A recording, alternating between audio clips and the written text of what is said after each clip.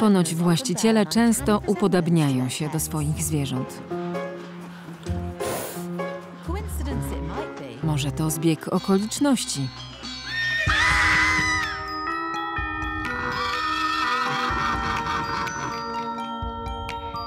But for 30 Ale nie w przypadku Amy, 39-letniej Włoszki.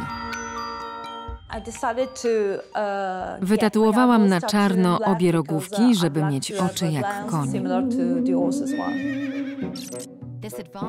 Tego tatuażu nie można usunąć. Zostaje na całe życie. Rozszczepiony język wygląda jak u węża albo innego gada. Dzięki implantom w policzkach moja twarz przypomina kocią. Mam cechy kilkorga zwierząt. Ale jestem normalna. Chyba.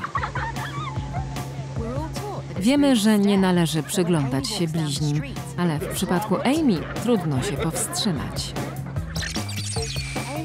Kiedyś. Amy nie wyróżniała się z tłumu. Pierwszy tatuaż zrobiła jako 20. dwudziestolatka. Dopiero trzy lata temu zainteresowała ją ekstremalna modyfikacja ciała.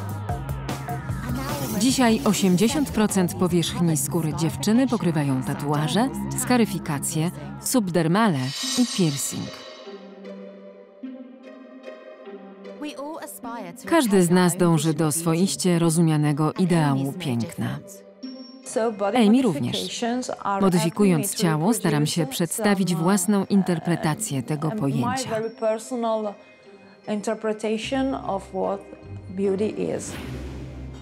ボリモリ。